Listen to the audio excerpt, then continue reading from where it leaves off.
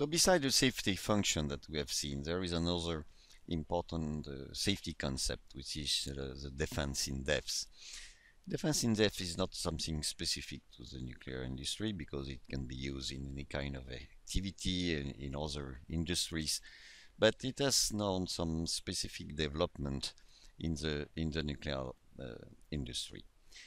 So basically, defense in depth uh, is to imagine any potential equipment failures or organizational or human errors and to implement several successive lines of protection. If something goes wrong, you will have a first barrier or a first way of avoiding the consequence. And if this first barrier of this uh, first system fail, you will have a second line of protection and even a third line of protection. So in, in, in that uh, case, in that uh, with that kind of configuration, you will need two, three, or four successive failure from an initial problem to get uh, uh, any significant consequences. We consider three categories of line of defense that we call prevention, monitoring, and mitigation. And these are developed in five levels at the design stage. So the first level is uh, prevention of uh, uh, anomaly.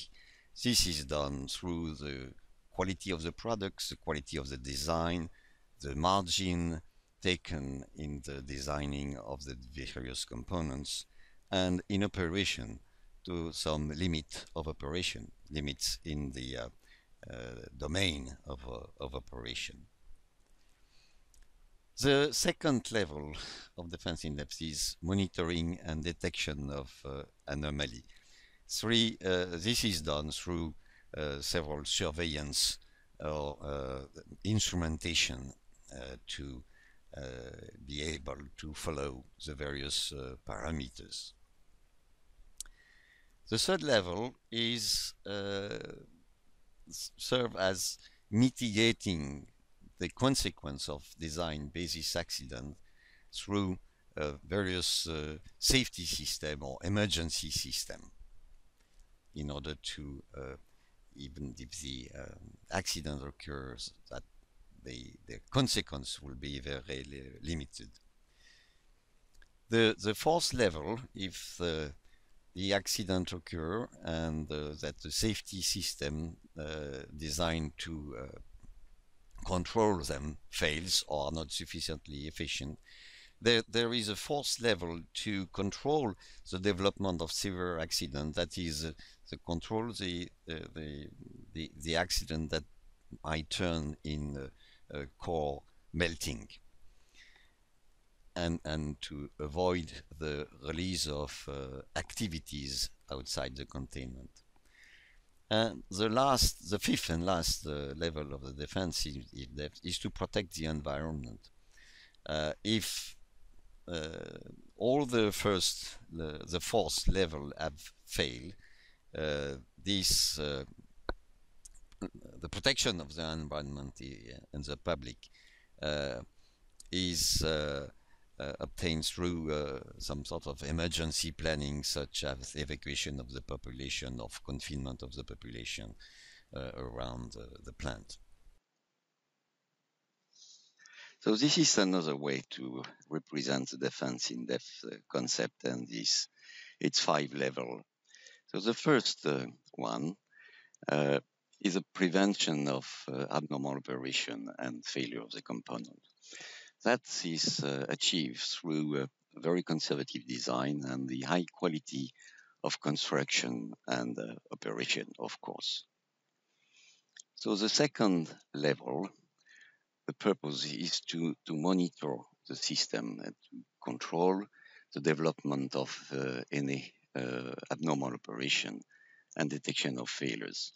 This is done through a lot of instrumentation surveillance feature, and uh, in order to to control the uh, the, the, various transients, uh, in some case to include some limitation.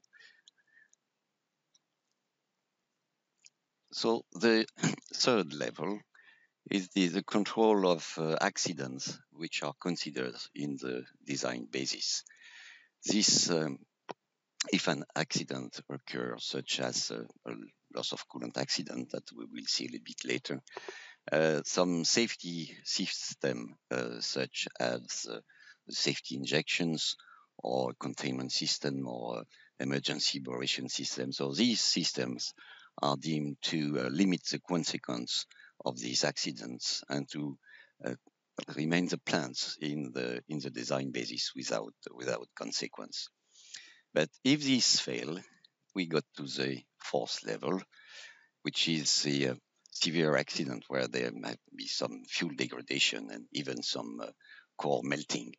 And so the purpose here uh, is to, to, to, prevent the, uh, any accident progression and to mitigate the, the consequence of that through the, the containment. So um, the, the, the main role here and the main action is to manage the accidents, ensuring that the containment remain leak tight and that there, there is no release. And if this fail, we got to the, five, the fifth level, uh, which is to try to, to mitigate the radiological consequence of the accidents and uh, the release of radioactive material. And this is the main role of the uh, emergency response organization, both on-site and uh, off-site with the public authority. So you have here the uh, the five uh, level of the defense in depth, the, the, their condition and the various feature taken to uh, meet to uh, prevent, uh, monitor, and mitigate the consequence of, of accidents. Another way of presenting the defense in depth concept is uh, what we call the three barrier model. The idea uh, is to have between the radioactive uh, products inside produced by, by the fission reaction inside the fuel and the environment three different leak tight barriers. The first being the fuel rod itself and its cladding, the second being the reactor coolant system, and the third one, the containment. Another way of, of presenting that is uh, this uh, uh, Russian doll, uh, which insert one in each other, and uh, you again see here the fuel rod cladding inside, then the reactor coolant system pressure boundary, and, and the containment. You will see another illustration of this uh, three barrier model in the the next small uh, video. Containment of the reactivity depends on the integrity of the three containment barriers, the three successive walls between the fission products and the environment. The first barrier is the cladding of the fuel rods. The second barrier is the pressure boundary of the reactor coolant system. The third barrier is the containment vessel. Each has its own particularities. The fuel rod cladding is in direct contact with the radioactive material to be contained. This is a multiple barrier. Depending on the power rating of the reactor, there are between 40,000 and 50,000 rods. The first barrier is subjected to a number of challenges. Thermal effects at the boundary between the fuel material and the cooling water, mechanical effects, including pressure and vibration, and also the effect of irradiation as intense neutron and gamma radiation is continuously passing through it. To preserve the cladding, it must first be ensured that heat is removed at all times and as effectively as possible. Otherwise, the result will be melting of this first barrier. The second barrier, which is the reactor coolant system pressure boundary, is a complex arrangement of large chambers and pipes, such as the primary loops. It also comprises a number of ancillary systems connected to the loops, consisting of many pipes of different diameters. Here, the challenge is the extremely high pressure to which a system is subjected, requiring thick walls. There is a danger of pressure excursions well beyond the normal operating levels, as well as eventual fatigue of the materials as a result of the pressure and the associated risk of leakage. The third barrier, consisting of the containment vessel, is extremely large and of apparently simple geometry, but it is traversed by numerous pipes and cables which can constitute weak points where leakage can occur. Here, the risk is associated with contingent thermal stresses and overpressure in the event of the sudden release of a large amount of steam in the reactor building. Special care is needed to ensure that the penetrations are leak tight, as this third barrier represents the last line of defense protecting the environment against the dispersal of radioactive material in the event of a severe accident. It must be borne in mind that the three barriers are not totally independent, and the failure of one can have repercussions for the others. For instance, in the event of failure of the large pipe making up one of the loops, and hence loss of the second barrier, leakage of coolant would compromise cooling of the fuel, resulting in a major risk for the first barrier while flashing of the water at 300 degrees to steam in the reactor building would also challenge the third barrier by exposing it to extreme heat and pressure. It is also because the three barriers are not totally independent that so much care has to be paid to them.